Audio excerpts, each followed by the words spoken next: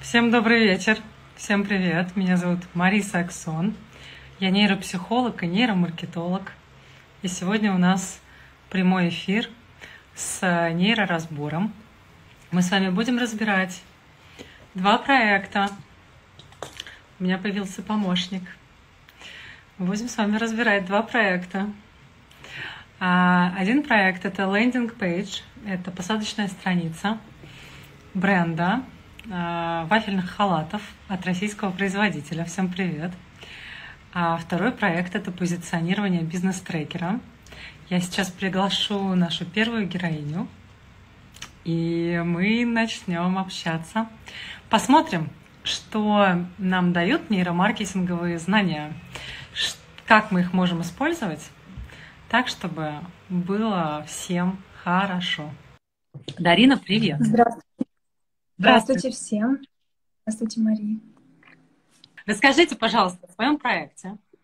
А, как вы его запускаете? Что он из себя представляет? На кого он нацелен? Я потом покажу весь сайт и расскажу, что можно улучшить, чтобы увеличить конверсию.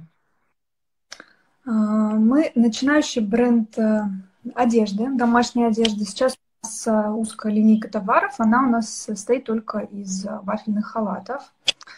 Мы нацелены на э, женщин, которые увлекаются э, домом, садом, материнством в возрасте где-то 25-35 лет. Э, те, кто любит уют и в целом как бы, любит комфорт дома. Проект у нас возник во время карантина.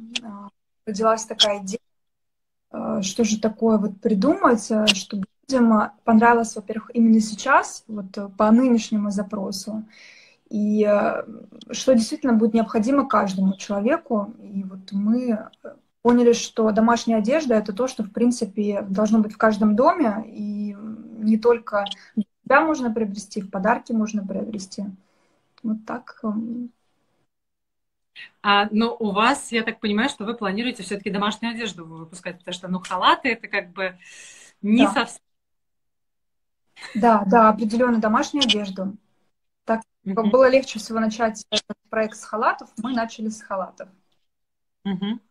Сейчас, секунду, я закреплю нам тему, что это у нас нейроразбор, чтобы присоединившиеся... Вообще у нас а, сделать даже коллекцию для отдыха, для пляжа, для отдыха на возможно. То есть вот, вот такой э, сегмент одежды не только для дома, но и для отдыха, для заноса йога.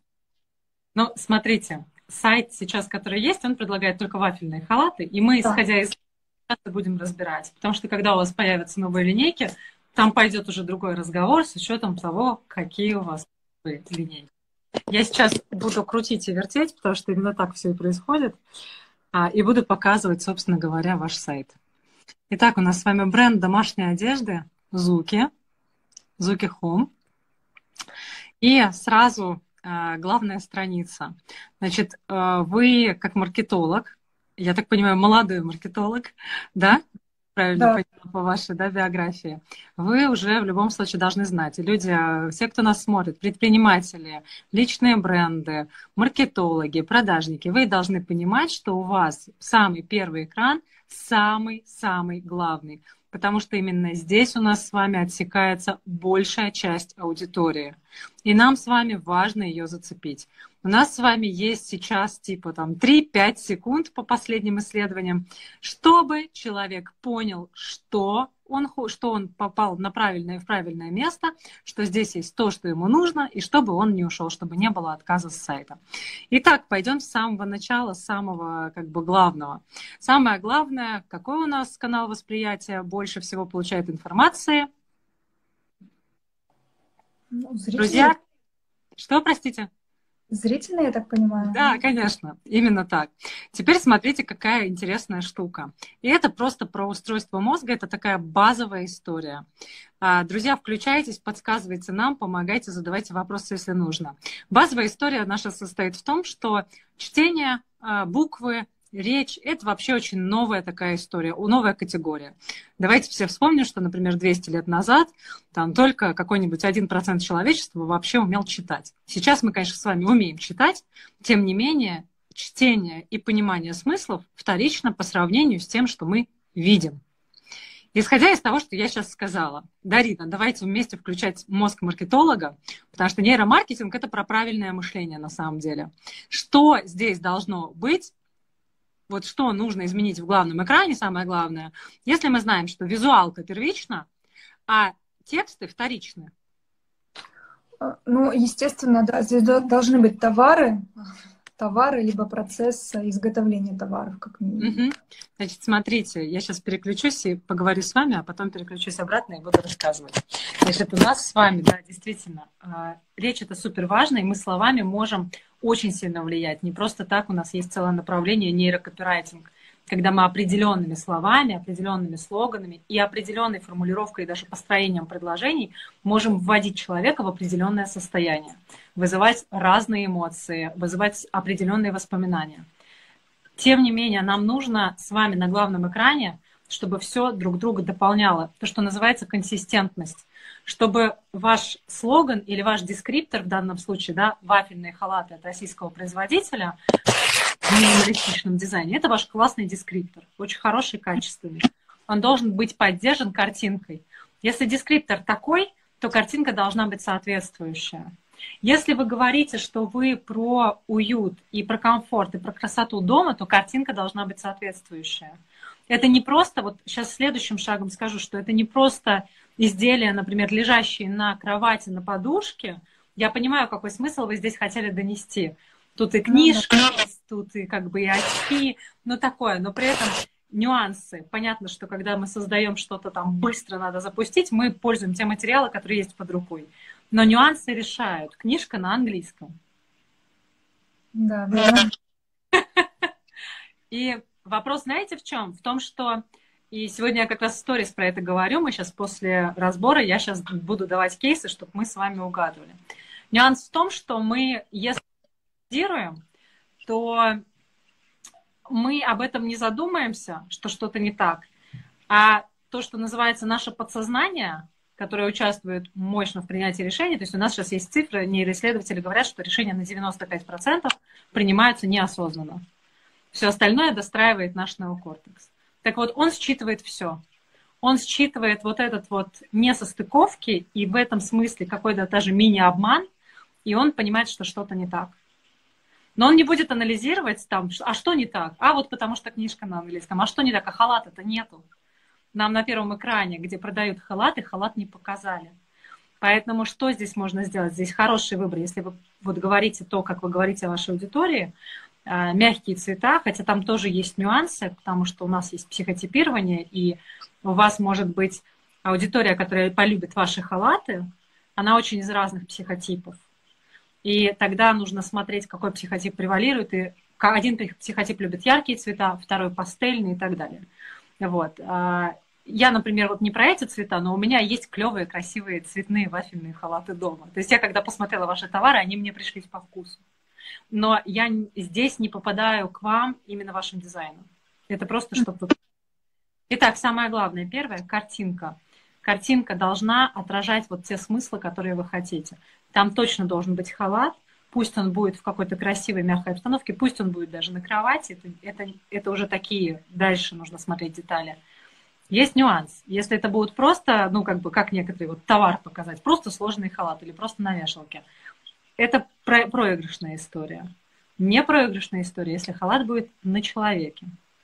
Еще хорошая история, если у вас получится снять халат на какой-то очень милой девушке с лицом, потому что я посмотрела ниже, у вас лица э, обрезаны на картине, на, не внутри, на товаре, а снаружи.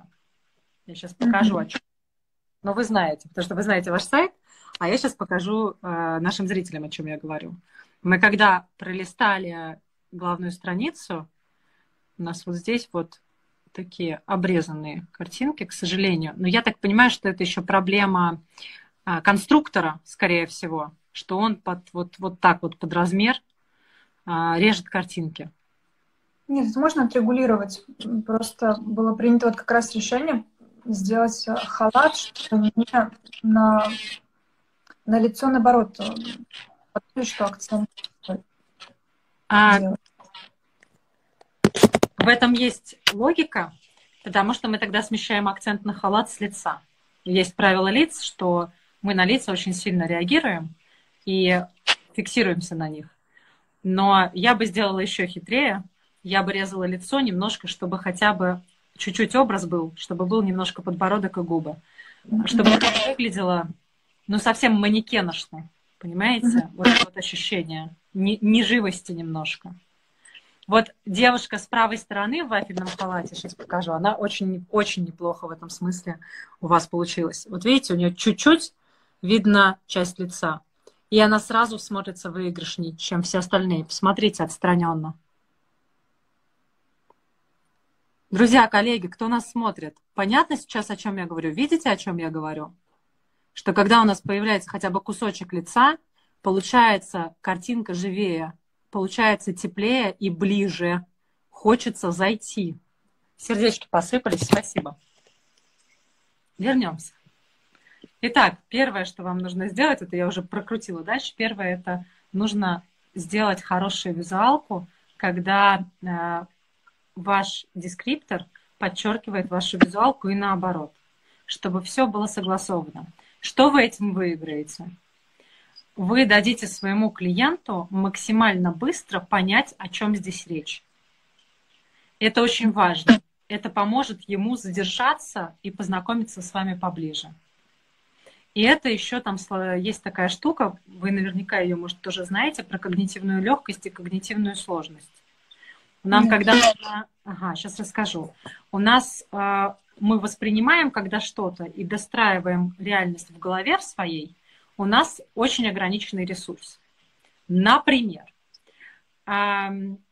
есть исследования, когда брали две группы людей, одной группе давали чай, а второй группе давали выбор, выпить чай или кофе.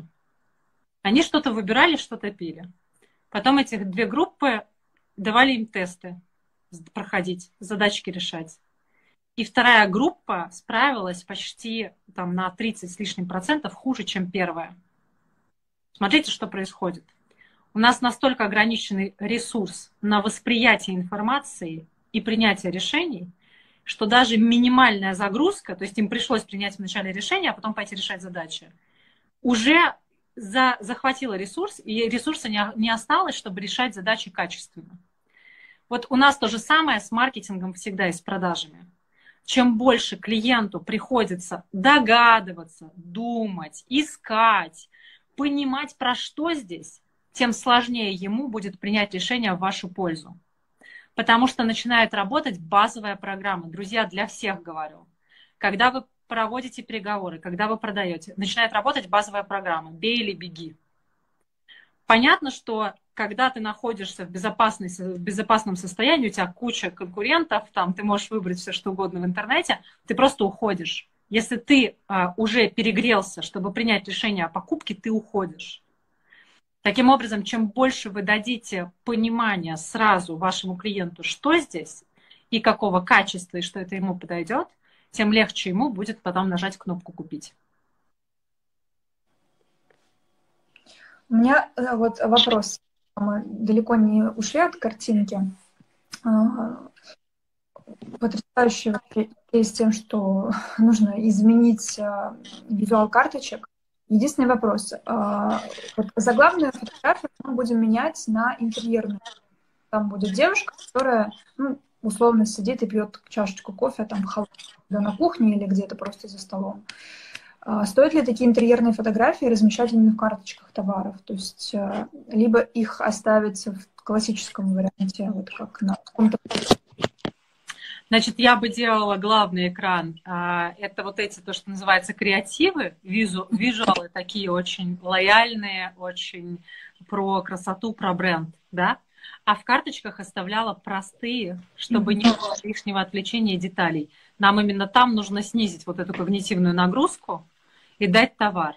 Но я говорю, единственное, что чуть-чуть бы сместила, чтобы лицо узнавалось все-таки, чтобы поживее было чтобы было легче себя представить на том месте. Угу. Ну, я с голову спиралом, можно сказать, чтобы было легче подставить, ну, то есть, чтобы это был манекен некий. Но, да, я понимаю, что вот справа выигрышнее намного действительно смотрится. даже. Понятно, что у нас есть вот общие законы, в том числе законы нейромаркетинга, восприятия информации, психологии клиента. И э, они нам говорят, с одной стороны, что нам нужно ставить лица в наши визуалы, потому что лица привлекают внимание. С другой стороны, тогда лица отвлекают внимание от товара. Mm-hmm. И мы, что у нас за аудитория? Ну, то есть мы всегда смотрим на контекст. Почему не работает нейромаркетинг, когда мы почитали и пошли просто влепили? Ну, типа, вот у них сделано, и мы также сделаем. Потому что всегда нужно учитывать контекст и что у нас за аудитория. Если мы говорим, что у нас аудитория вот про этот уют, комфорт и так далее, то нам как раз от манекенности нужно уходить. Но при этом не перейти, ну, как бы настолько, что у нас все, лица заберут на себя всю активность, все внимание, и человек просто растеряется и не купит. И мы ищем вот этот вариант. Вы его случайно там нашли, вот в этой правой фотке. Используйте его во всех остальных. То есть мы, с одной стороны, не уводим, убираем а, не живость, добавляем живость, уют вот этот, а с другой стороны оставляем пищу для воображения, чтобы человек достроил себя вот в этом халатике. Но при этом, когда вы будете делать главный визуал, там прям хорошо, если будет лицо, конечно же. Там хорошо, если будет весь антураж.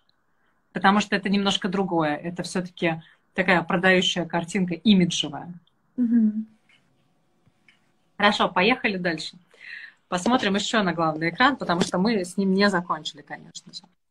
А, значит, бренд домашней одежды Зуки, а, все отлично. Я не знаю, будете ли вы делать какой-то логотипчик. Вот хочется какого-нибудь значочка, прям очень хочется да. значочка. Отлично, вот там сердечки пошли, всем хочется значочка. Мы уже, понимаете, привыкли. Нам уже э, кажется, что если значка у компании нет, что с ней что-то не так. Это вот наш э, такой опыт э, клиентский. А дальше смотрите, какая история клевая. Вот есть у нас товары, доставка оплаты, контакты. Есть такая штука, что мы на главном экране абсолютно непрямыми средствами завуалированно можем очень много смыслов давать. Так, все зафиксировали, как выглядит главный экран. Я сейчас уберу и буду рассказывать. Ага, вернулась вам на главном экране хорошо бы показать что-то про себя. У нас есть разные триггеры. Есть триггер социального доказательства, есть триггер веры и так далее. Но давайте посмотрим, как сделать так, чтобы появился триггер веры. Как сделать так, чтобы люди поняли, что вы нормальная контора, не однодневка, и у вас все прям хорошо. Что вывесить на главный экран? Давайте я еще проще подскажу. Что вывесить в меню или в шапку, что добавить, чтобы люди сразу поняли, что с вами можно иметь дело, что за этим что-то стоит, кто-то стоит.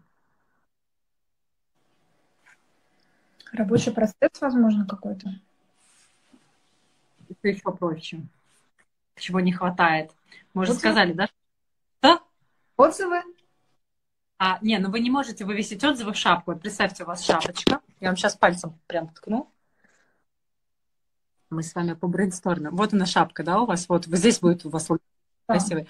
Тут вот у вас есть она, товар, доставка, оплата, контакты. Чего не хватает? Чего хочется? Чтобы сразу человек понял, что с вами можно иметь дело, что за этим это не контора однодневка, что можно доверять. С какого вот. года Галя, с какого года подсказывает? Не обязательно, Галя. Ха, с 2020-го, год, Я которого могу... не было. Что вы говорите? Я могу только указать свой с 92 На самом деле все гораздо проще. Спасибо, Лидия. Нам подсказывает Лидия. Друзья, а, всем а, сердечки, пожалуйста, Лидии отправьте. Контакты. Мы можем не скрывать контакты, мы можем вывесить e-mail, мы можем вывесить телефон туда. И даже если нам не будут звонить и писать на этот e-mail, когда люди заходят на сайт и сразу видят какие-то формы, по которым можно связаться, понятно, какие внутри ощущения? Да, доверие. Да, именно. И мы сразу с вами абсолютно маленькой штучкой увеличиваем себе конверсию дальше в покупке. Потому что, по сути, у вас каждый экран, каждая деталь – это точка контакта с вашими клиентами. Вы вот так, подкручивая каждую деталь, будете увеличивать себе конверсию, будете увеличивать, чтобы дальше люди комфортнее себя чувствовали, да, вот это ощущение. Угу. Соответственно, здесь появляется у вас логотип, контакты, правильный визуал, и поехали дальше. Друзья, ну поддержите нас. Дайте нам еще сердечко. Посыпались. Класс. Пойдем посмотрим дальше, что у нас есть. Значит, что сделано? Во-первых, сайт очень приятный, я должна сказать. Я просто, да, Лидия идет на нейромаркетинг, уже тренируется. Да, Лидия, я очень рада. Вот как раз в сентябре стартует нейромаркетинг, друзья. Кстати, по этому поводу новость. А, осталось пять мест на бизнес-формат. Всего пять, мои дорогие. Так, поехали, смотрим. Значит, второй экран – это супер здорово, это супер правильно, что у вас сразу идет отзыв. Это очень хорошая практика. Вы сразу дали социальное доказательство, показали, что у вас есть клиенты. Что можно улучшить? Две вещи. А первое, даже три сейчас я вам скажу вещи, как улучшить. Первое, если у вас появится здесь фотография отзывика, человека, который написал отзыв, можно спросить человека и поставить фотографию. Это будет очень хорошо. У вас сто процентов есть лояльная аудитория, которая согласится вам дать эти фотографии. Я прям гарантирую. У маленьких брендов, таких теплых и ламповых, всегда есть такая аудитория, которая даст вам фотографию. Поэтому добавьте фотографию. Знаете, что еще здесь будет хорошо? Если здесь будет не один отзыв. Ну, то есть, смотрите, если бы у вас здесь был отзыв, я не знаю, условно говоря, от Аллы Пугачевой, то его можно было бы оставить один, да?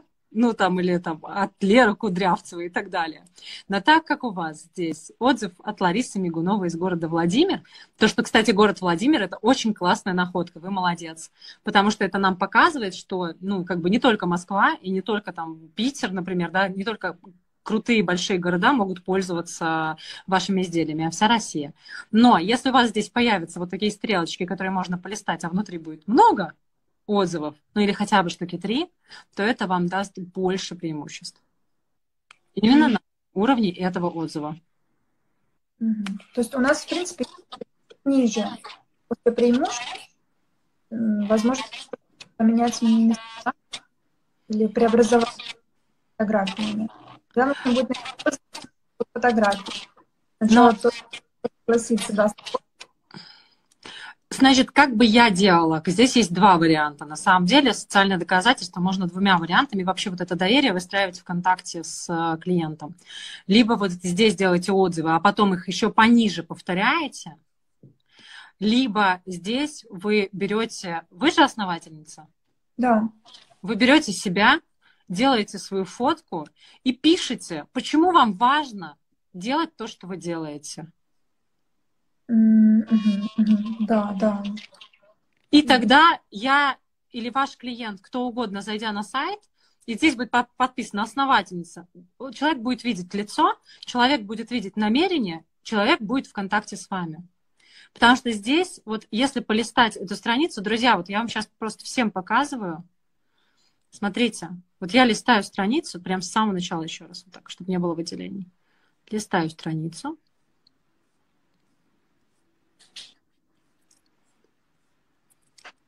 И прям даже не буду вас всех мучить, я хочу просто, чтобы вы посмотрели на эту страницу и увидели, как сильно на ней не хватает контакта.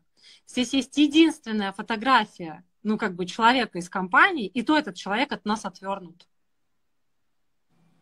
Ну, типа, нас не ждали. Что вы, как бы, что вы заглядываете через плечо? И есть, еще раз, есть вот это ощущение какой-то от, отстраненности. При том, что, то есть отстраненность это неплохо, если бы у вас был какой-нибудь другой товар, а у вас мягенький, интимный, очень такой гигиеничный, очень такой домашний товар. Вам наоборот контакт нужно строить. Вот, поэтому еще раз, да, здесь можно либо делать несколько отзывов с фотками. Спасибо, друзья, за сердечки, все понимают, да, о чем я. Либо может быть, даже я бы потестила, вы сработаете здесь лучше. Ваша хорошая фотография, ваш текст, чего вы хотите, здесь бы я еще бы воткнула вашу какую-нибудь красивую подпись, что это точно вы написали. Вы подписываетесь под своими словами, и тогда это будет вообще перфект, потому что это будет самый прямой контакт. Вы отвечаете за свое качество и не стесняйтесь тут, вот, понимаете, ставить свое лицо, потому что отвечаете за качество. И есть еще прям маленький-маленький а, лайфхак, так как э, люди в интернетах тексты не читают, все об этом знают, да? Ну, то есть вот это вот никто не читает. Читают, знаете, как помню, как я долго искала, один час кожа начинает чесаться, доставили прямо во время отпуска, а муж оценил. Вот это вот как бы как читается текст. Никто не читает каждое слово. И тогда вы делаете маленькую хитрость. Вы выделяете жирненьким то, что вы хотите, чтобы человек почитал. Да, да. Окей, с этим понятно, с этим разобрались. Друзья, коллеги, если у вас есть вопросы по текущему а, разбору, вы можете задавать. У меня есть вопрос. Все-таки здесь а, присутствует слово основателя а, не в формате о нас, о компании, как мы создавались, а именно какие-то слова личные от меня. Да, я лично от вас.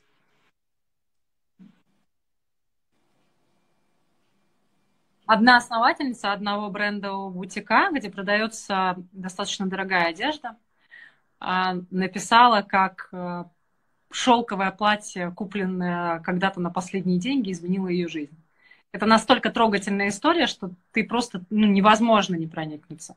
Я не предлагаю вам сделать то же самое, но сторителлинг, особенно если он правдивый от души, ну то есть я это сделала, потому что это важно. Вот я сейчас на вас смотрю, на ваши продукты, и думаю, вот я бы тоже хотела сделать что-то такое. Потому что я искренне фанатка домашних вот этих штук. У меня целая коллекция самых разных халатов. Я обожаю все эти там тапочки, я обожаю всю эту махрушечку, я обожаю новые полотенки, вот это вот все. И я думаю, вот найти сложно, в принципе, прям клевый. Ну, то есть, если это вот не за там 20 тысяч рублей, то найти сложно прям хорошее качество. Вы это качество делаете. Насколько я посмотрела, насколько я увидела, вы делаете это качество по классной цене. Прям по очень классной цене. И что там вас мотивировало, что вас двигало? Ну, наверное, это не на уровне. Сейчас я посижу, подумаю, а что за бизнес мне запустить, чтобы много бабок заработать? Ну, то есть вы что-то заработаете, но это же не миллиарды, там, там вы же не, не, не, не знаю, не чем-то там, не, нефтя, не нефтянкой занимаетесь. Значит, какая-то мотивация, какая-то ценностная история там стоит за этим. И про эту ценностную историю можно говорить. Потому что э, я не знаю, здесь все как бы напишите, вот поставьте плюсик, если вы очень прям, ну не знаю, трудоголик или вы очень много работаете. Вы очень много работаете? Я? Я очень много работаю, и я работаю из дома, и я часто работаю в домашней одежде. И у меня очень много домашней одежды именно. Поэтому пришла когда-то такая идея, что как бы здорово было сделать ее классной и разной. Да. Вот, плюсики поставили. Ну, давайте теперь еще, вот очень интересно. Да, вот Галя тоже говорит, да. Я просто знаю, что я, если я пришла, у меня есть халат до ванны, два разных халата. Я знаю, что когда я пришла там после прям очень активного рабочего дня и надела халат, это просто сразу другое ощущение. Я такая, ну прям сразу расслабляешься. И иметь такой классный халат для этого, вы про это можете поговорить. Еще раз, я не знаю, что у вас там внутри, как бы, но mm-hmm. там мотивация не на уровне заработать все деньги мира, а на уровне сделать еще что-то клевое.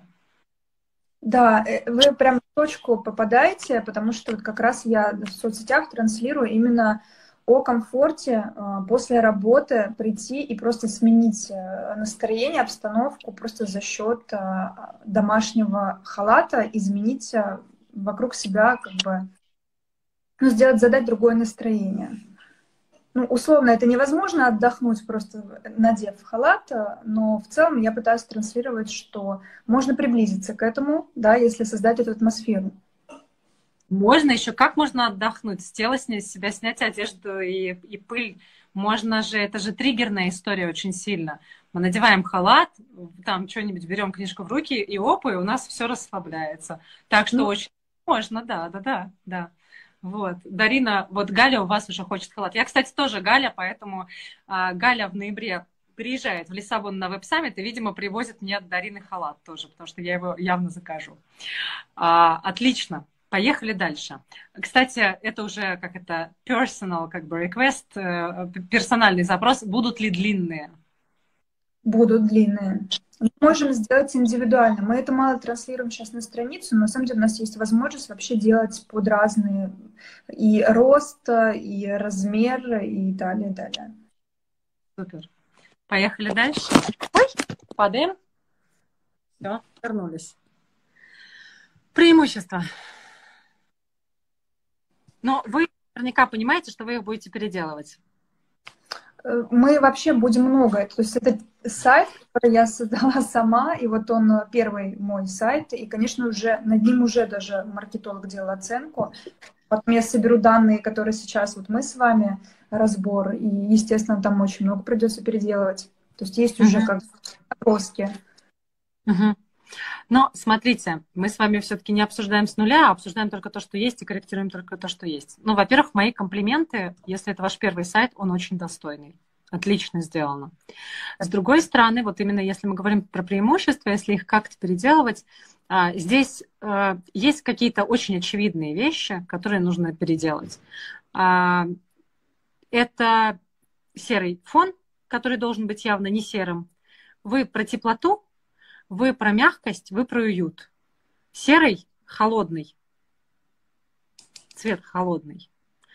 Поэтому можно это делать э,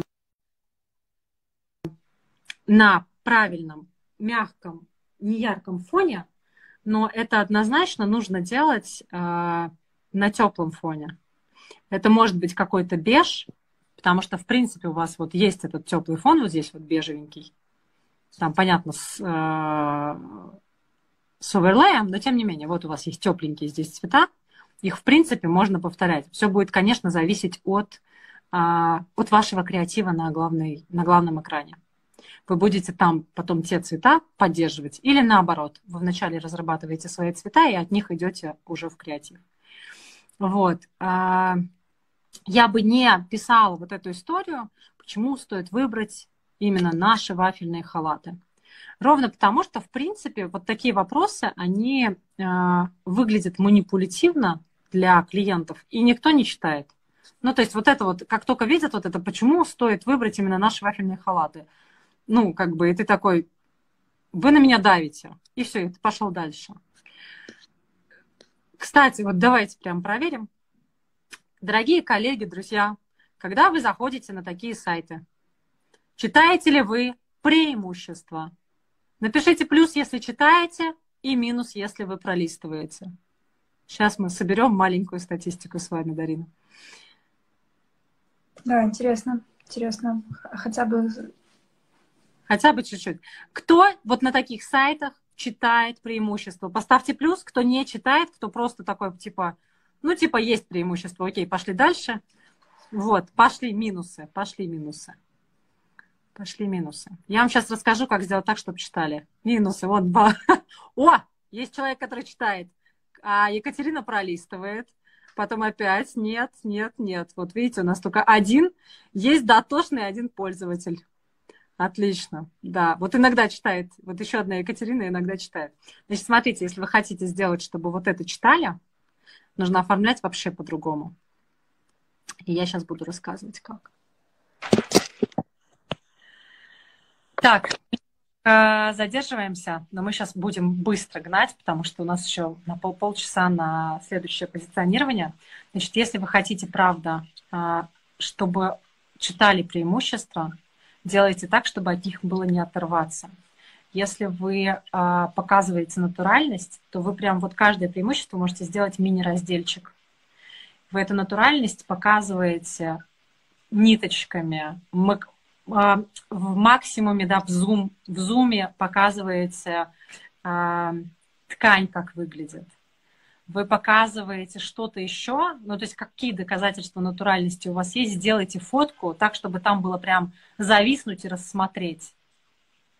И тогда вы говорите, а, наши халаты изготавливаются из 100% хлопка и подходят для чувствительной кожи. Я бы там вообще еще хитрее делала, потому что вот это типа натуральность, все такие натуральности дальше не читают. Я бы писала, например, наши натуральные халаты, чтобы ну, человеку вот этих вот очевидных вещей настолько не делать, чтобы он все-таки как это голову включил и зафиксировался. Это тоже очень важно. А... Все сезонность, ну тоже, опять же, там же можно сделать а, такую условно коллаж, когда за окном снег или за окном лето. В общем, сделать так, визуалками подчеркнуть, это все, кстати, очень доступно делается, несложно, чтобы каждое преимущество хотелось рассмотреть. Вот здесь нужно будет, а, вот цвет, подсказывает цветок хлопковый, очень красиво можно использовать 100%. Кстати, он там есть, потом я сейчас покажу, там есть в карточке товара Про качество. Наши халаты шьются из, профи, из прочного вафельного полотна, Ага. Опять же, то, что они не просвечиваются, можно показать. Можно показать на руке на, на свет. Сделать так интересно, чтобы люди думали, а что они мне пытаются сказать, и почитали текст. То есть, что они мне пытаются сказать этой фотографией. И так далее. Идеи для подарка то же самое. Показывайте, как вы дарите подарок. И так далее, и так далее, и так далее. Вот тогда вас будут читать. Если вы это еще красиво разместите, там можно шашечками, это уже можно поиграть тогда вас будут считать, что это за преимущество. Тогда будут задерживать взгляд. Вопрос. Эм, в целом, здесь, конечно, все понятно, что визуально это все фотографиями, картинками, я так поняла, не графично это все показать. Но у меня прям, я зависла, у нас как раз сейчас дизайнер готовит э, фирменные цвета, и вообще, в принципе, весь фирменный стиль будет разрабатываться. И у меня была мысль остановиться на голубом цвете, потому что бежевый, ну вот уже как-то везде и вся. Но сейчас я уже свое мнение меняю. Голубой, наверное, здесь э, не прокатит. Он может подойти, смотря какой оттенок. Смотрите, по сути, вот мне, конечно, очень хочется вам сказать, а приходите на нейромаркетинг, вы разберетесь с вашей целевой и поймете в том числе, какие цвета.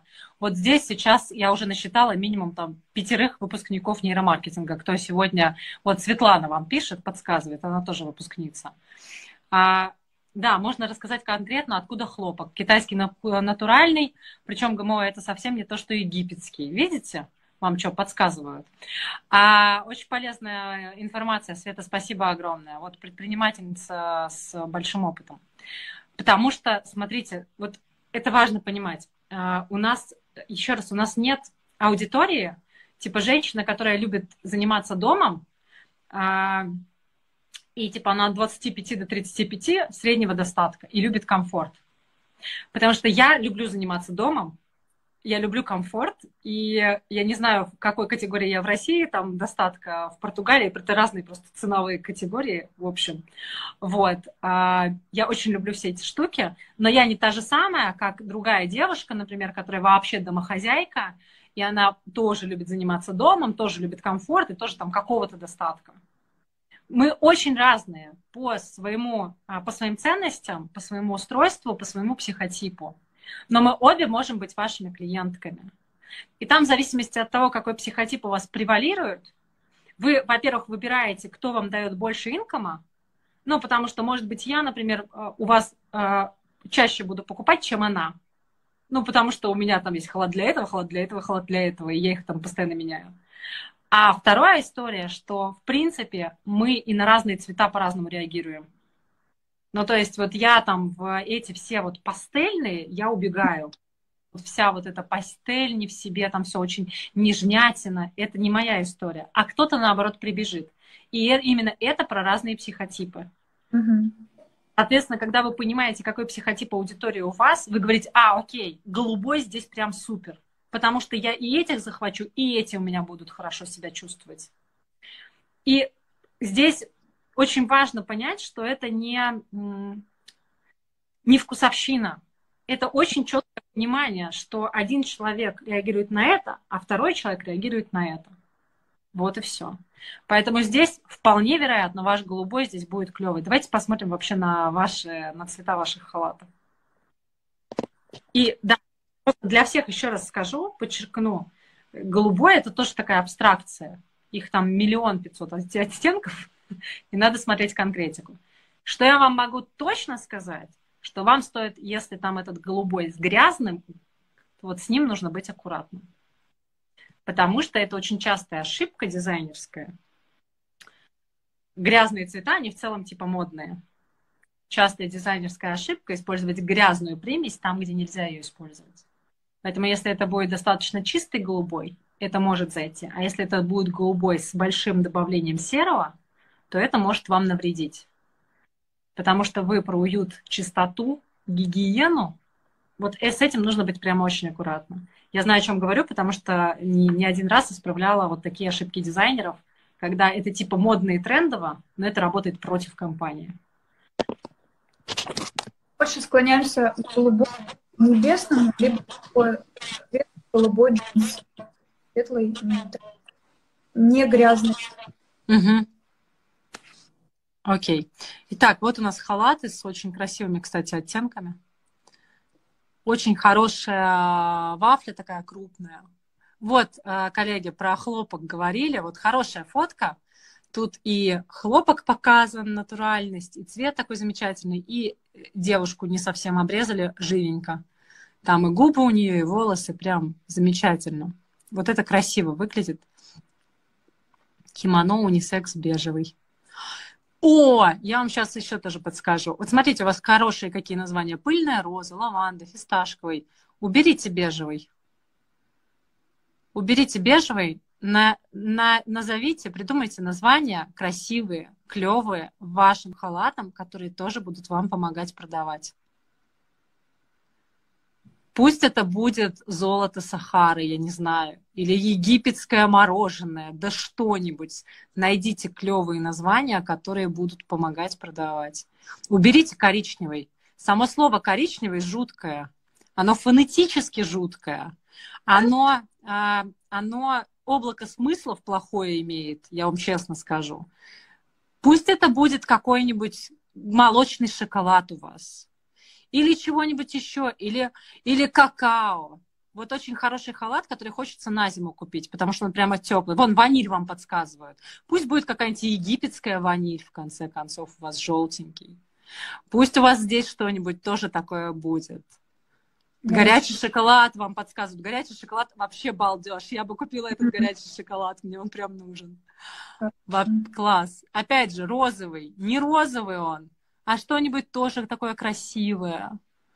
Там, я не знаю, там паль, опаловый какой-нибудь рубин. И вот это вот вся. Вот шампань хорошо, вот шампань хорошо звучит. Шампань прямо хочется, и хочется в нем пить шампанское. Кто меня поддержит, тот молодец. Можете прислать сердечки и плюсики. Вот, вам смотрите, сколько накидали. Да. О, а Света вам говорит, что в подборе цветов в Яндексе есть потрясающие названия. Вот туда идем и тогда гуглим. Просто класс. Опять же, не синий, а какой-нибудь индиго, роскошный индиго, что-нибудь в этом роде. Вот. Вот это будет здорово. Так. А нас? Ну, здесь прям уже понятно, наверное, что делать. Нужна нормальная фотография, можно производство, можно э, тканей, можно вас, можно каких-то помощников. Если нет помощников, вас, производство, ткани и так далее. А, сейчас я посмотрю быстренько ваш текст.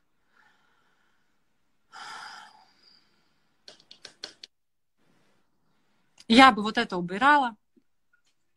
Значит, я вам сейчас скажу, почему. Что я могу дать людям, чтобы их нахождение дома в период карантина было максимально комфортным? Не актуально. Конечно, карантин закончился, зачем мне ваш халат? Все. Это на самом деле не, то, не просто не про, не про актуальность, это еще есть такая история про негативную провязку, негативный триггер. Когда мы не хотим покупать вот эту штуку, чтобы не вспоминать о карантине. Мы не хотим что-то делать, чтобы не вспоминать свой негативный опыт. Мы не хотим куда-то ходить, где нам было плохо. Вот то же самое. Поэтому текст переписывать и обязательно переписывать именно с учетом того, на какие кнопки мы жмем, какие эмоции мы хотим вызвать. Слова помогают нам вызывать эмоции, в зависимости от того, какие слова вы используете. Почему мы хорошо делаем свое дело? Ну, давайте быстренько на этом закончим, и у нас будет еще один разбор. Сегодня подольше с вами. Почему мы хорошо делаем свое дело? Да кто вас знает? Ну, то есть я, я вот это совсем убирала, потому что это опять какой-то провокационный вопрос, и мне кажется, меня сейчас начнут обманывать. Ну, то есть вы этим вопросом знаете, что делаете? Почему мы хорошо делаем свое дело? Знаете, что вы делаете? Вы сажаете мысль в голову, что потенциально вы могли бы делать его плохо. Но вы все-таки делаете его хорошо, и вот почему. Мы достаточно странно устроены в этом смысле. Мы дорисовываем картинки, которых, да, заставляем задуматься. Мы дорисовываем картинки в своей голове, которых, э, которых еще нет. И мы достраиваем картину в зависимости от того, что нам говорят. А, я, видимо, сегодня после эфира тоже в сторис выложу, как это работает. У меня есть прям картинка, которая показывает, как это работает, как контекст задает то, что мы видим. И в этом смысле мы можем додумать всякую... Вот, вон, Юля говорит, что на 100% так и подумала. Мы вот за этими вещами додумываем то, что человек вообще не хотел сказать. Еще раз, мы так устроены. Я сегодня, опять же, в сторис покажу все эти механизмы. Поэтому вот с такими историями нужно быть аккуратно. А и если хочется подчеркнуть, что вы хорошо делаете свое дело, ну, во-первых, не надо тыкать пальцем, что кто-то его де- делает плохо, а это тоже по, по ощущениям, что это так вы тут делаете. Вот. А второе, конечно, не надо провоцировать, чтобы люди задумывались, что вы могли бы.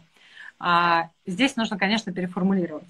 Здесь нужно переформулировать, что мы обожаем то, что мы делаем. Мы делаем наши халаты с душой, и вы это на своем теле почувствуете. Вообще такие личные штуки, ну, как бы интимные штуки, вот про них можно говорить, про то, насколько бренд а, оставляет свой след в, в изготовлении. Потому что когда ты получаешь это дома, ну, ты все равно получаешь какую-то, ну, энергию, атмосферу, да, что хотите, кто там во что верит. Хотя сейчас у нас и нейроисследования есть про энергетические штуки. Вот, то есть есть уже научные данные, мы сейчас не про эзотерику говорите об этом. Мы делаем с энергией, мы делаем действительно с любовью, мы делаем тщательно, мы делаем внимательно. Но тут вы, конечно, повторяетесь, я бы тут сделала, может быть, даже какое-то видео записала. Если есть возможность записать видео. Не обязательно, смотрите, вот тут очень важно про предпринимательство. Если вы только заходите, не обязательно ждать, когда вы сделаете там какой-нибудь профессиональный промо-ролик. Да вы можете просто на телефон снять там в горизонталке и сказать, смотрите, я очень люблю, что я делаю. Вот у меня вот здесь швеи, у меня вот это, вот это, вот это. И, и вот мы делаем это вот так. И вот действительно вот такое у нас производство. Оно домашнее, оно качественное, оно с любовью. Мы смотрим за каждым стежком. Вы прям можете показать, смотрите, стежки все идеальные. И вашей кожи они будут каса... не касаться вообще, вы не почувствуете их. Это, кстати, проблема халатов, про это тоже можно поговорить когда ты на голое тело надеваешь, если ты очень чувствителен, как, как швы там ощущаются. Это отличает, кстати, очень сильно дешевые халаты от дорогих халатов. Если вы это покажете, это будет совсем другая ситуация. Еще раз, даже если вы это покажете просто на телефон. И это вам не нужно... Это глав... Знаете, что главное? Что если вы это сделаете, мы, в принципе, правильные смыслы доносим не впрямую. И это самое лучшее, когда мы доносим не впрямую. Но, условно говоря, я говорю, что я не, не, не я там за ЗОЖ, за ЗОЖ, а я показываю, что я занимаюсь спортом, не ем сахар и вообще правильно питаюсь, слежу за своим питанием. Мне не нужно людям после этого говорить, что вы знаете, я за здоровый образ жизни. Это и так очевидно. Вам не нужно говорить вот это, почему мы хорошо делаем свое дело, вы вместо этого показываете.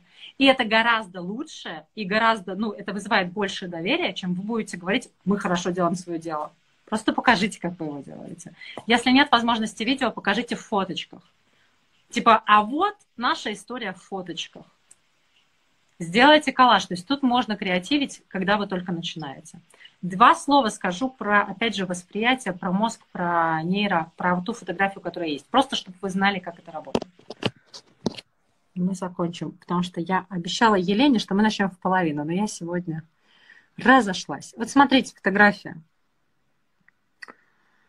У нас есть такая штука, которая называется... Спасибо большое, друзья, за сердечко. У нас есть штука, которая называется эвристика доступности. Это когнитивное искажение. Когнитивное искажение, если по-русски, это ошибка мышления.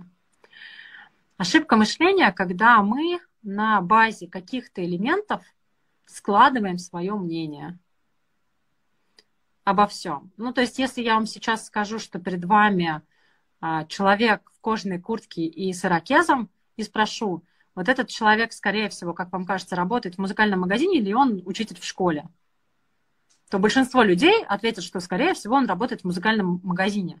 Я сказала про него две вещи. У него ирокез и кожаная куртка. По сути, он может быть как учителем в школе, так и в музыкальном магазине продавцом. Но все склоняются, потому что у нас есть стереотипы. И у нас есть стереотипы. Вот смотрите, про «хорошо делаем свое дело». Здесь очень милая девушка, она видно, что она шьет, но вот э, меня, например, очень-очень смущает, и ваших клиентов это тоже будет смущать, не то, что это моя там местечковость или мое мнение. Вот эти вот волосы, лезущие вот сюда вот, к халатику, понимаете? И это, правда, имеет значение. Если мы при, при этом, смотрите, длинные волосы – это клевая тема для а, вообще продажи. Я не знаю, это вы здесь сидите? Да, да, но, конечно же, это просто сделано фото для, для фото. Смотрите. Выглядит немного по-другому. Смотрите, очень важно. И я понимаю, что это постановочное фото. Э, я расскажу про наш кейс, угу. что понятно и вам, и, и тем, кто нас смотрит, и те, кто, тем, кто нам, нас еще посмотрит. Эвристика репрезентативности вот эта вот стереотипизация, она работает очень мощно на подсознание. А настолько мощно, что работает даже там, где не ожидаешь. А, в Лондоне запускался проект, стартап, и на видео была доктор, настоящая доктор, делали промо-видео. Мы потом пришли уже, когда было сделано, и я анализировала, собственно, делала нейроаудит, нейроразбор, и говорила, что нужно поправить. И дело в том, что в Англии, это важно знать, это в Лондоне, там доктора не носят белые халаты. Не носят. Принципиально много лет там доктора ходят в обычной одежде. Медсестры только носят. И доктор, соответственно, на видео просто в обычной одежде, такой типа, типа офисный. Ну и она что-то там делает, какие-то бумажки, что-то там слушает человека. Я говорю, и у него распущенные волосы. Ну и как бы вот. Я говорю, мы надеваем на нее халат, мы убираем ей волосы, надеваем очки и вешаем стетоскоп. Как бы это смешно не казалось, ну как бы, как бы смешно не казалось. И знаете, что происходит? Ну, то есть вот было видео и стало видео. Конверсия взлетает. Потому что мы даем нашим зрителям, по сути, достаточно элементов, чтобы они правильный стереотип выстроили. Им не нужно догадываться, им не нужно додумывать мнение, они сразу мнение складывают. Что перед ними доктор, и этот доктор, это важно, квалифицированный. И этот доктор окажет высокое качество сервиса. Потому что есть халат, стетоскоп и все остальное. Мы не так мыслим. Мы мыслим по-другому. Знаете как? Мы заходим и говорим да или нет. Мы как клиенты. Мы же не садимся и не анализируем, там, наверное, вот здесь можно доверять. Нет, мы просто ощущательно понимаем, что здесь можно доверять. То, что вы делаете, постановочное фото, вы можете его делать, вы можете его делать качественно, понимая про эвристику репрезентативности. Длинные волосы – это огонь для вот э, российской аудитории, для производства, вот это вот все от российского производителя, минималистичный дизайн. Завяжите косу. Во у вас будет выглядеть. Завяжите косу, покажите традиции, раз уж вы про традиции, минималистичный дизайн и российский дизайнер. Повесьте себе на шею этот кто мне напомнит, как это по-русски называется? Сантиметр. Повесьте что-нибудь на шею, понимаете? Покажите, докажите, что да, вы действительно работаете. Но вы работаете с достаточно интимной вещью, а у вас волосы понимаете, уже как бы уже не стыкуются. Сложно сложить полноценный образ качества, комфорта и то, что вы следите за там, чистотой, условно говоря. Mm-hmm. А это, потому что вот эти элементы, они так и складывают. Да, не подумала бы вот здесь точно. А изучая когнитивные искажения, вот эти вещи можно очень четко улавливать и видеть, что как нужно подкручивать, что добавлять, какие детали, чтобы все работало. Я готова ответить буквально на один вопрос. И я надеюсь, Елена там еще не сбежала от нас, потому что Елена, Елена здесь вижу. Следующая на разборе. Мы его обязательно сейчас проведем. А, говоря, у меня не осталось никаких вопросов. Очень, очень подробно, гораздо подробнее, чем я ожидала. У меня просто вот два листа уже исписано. Елена, да, я уже готова все, все переделывать. Но я еще раз подчеркну, что для первого сайта вы, правда, молодец, там сделано, там все равно есть интуитивно, есть находки прям хорошие. И вы хорошо справились с дескриптором, это очень здорово, это тоже редкая история. Все остальное вы подкручиваете, докручиваете, потом еще улучшаете. Это такая история. Будете смотреть конверсию, пусть она у вас залетает. Я надеюсь, что здесь у вас тоже появятся клиенты. Я точно закажу себе халатик прямо в буквально в ближайшие дни. Выберу. Вот Галя мне как раз привезет, когда поедет, полетит на веб-саммит. Спасибо. А, я обязательно сохраню эфир. А, спасибо, что были здесь. Спасибо, что пообщались. Я тогда с вами прощаюсь. Спасибо. В сентябре стартует прикладной нейромаркетинг для бизнеса. Там осталось 5 мест на тариф с, моим, с моей обратной связью, на тариф с, моей, с моим детальным разбором. А с нами, вот у меня тут договор, с нами э, в этот раз участвуют э, в нейромаркетинге в бизнесе э, маркетологи очень крупной российской компании. Так что поток будет мощнецкий, будем учиться друг у друга. У нас там много внутри группы работы. Настоятельно рекомендую не пропускать такую возможность. Плюс мы а, изменили немножко условия для базового тарифа. Там будет доступ к чату, будет доступ ко мне, будет доступ к нашим встречам. Это очень круто, потому что наши встречи это обычно полтора-два часа очень детальных разборов еженедельно. Домашки делаете на своем проекте, очень много тренируетесь, даете тесты. В общем, нейромаркетинг это про смену парадигмы мышления не меньше. Это не про то, что как кнопочку перекрасить, а это про то, чтобы точно знать, где, в каком месте, как ее перекрасить. Конкретно для вас, для вашего бизнеса и для вашей аудитории. Контекст имеет значение. А, так, Галя здесь, может быть, что-то я еще должна была сказать и не сказала. Я жду ваши вопросы, если они есть. Нейроразбор повторим следующий четверг обязательно.